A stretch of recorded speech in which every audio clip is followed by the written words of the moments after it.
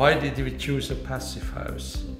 I, I, I always said if I want to build my own house, it has to be different. And we knew this concept from Europe. They've been building them in Switzerland for quite some time. And we decided to build one ourselves. One thing we, we would yeah. like to get out from a passive house is keeping the heating costs down, an even temperature, um, less humidity inside, and no draft.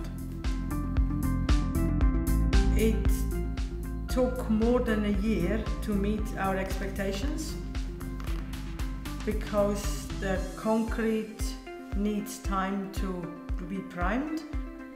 Uh, the second winter was definitely a lot more what we expected from, from an eHaus.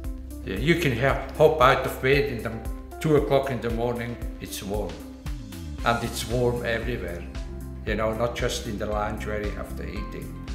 It's warm in the bathrooms, it's warm everywhere without us doing anything. I think once you live in an eHaus and you, for whatever reason, you have to shift again, you probably find it quite hard.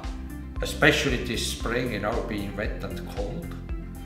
Come evening, oh, all our neighbours heard the smoke coming out of the chimney. I was still running around in my singlet in here. Not because I'm so hot, you know. it's just because it stayed 22, 23 degrees in here. And the temperature really stays constant, minus one or two degrees, but not more.